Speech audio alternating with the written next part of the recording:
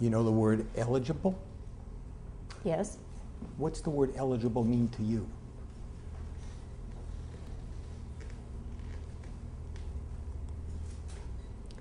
That uh, if we're talking about eligible as it is uh, involved in this lawsuit, it means whether I may run for Attorney General Okay. and serve in that position. All right. And could we agree, ma'am, that if someone with some really good credentials from Duke and working at White and Case, Robinson and Cole, and the Aetna would have legal training to draw a conclusion on the meaning of some particular words, correct?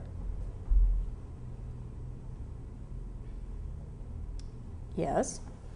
And you'll agree that one reasonable way to interpret the words at the bar of the state is, as you've already said, it could be to mean that you had to be a litigator, correct? Yes? And if the words at the bar of this state were what makes you eligible to become a candidate or, I guess, an election as Attorney General, you would not be eligible, correct? If that meaning is adopted. If that meaning is adopted, Putting aside the constitutional argument, please. I'm putting aside the Constitution. I'm not smart enough for the constitutional argument. I'm just dealing with little things. I'm a little guy. So the answer to the question is yes. You would not If be that- eligible. if that were the case. Now,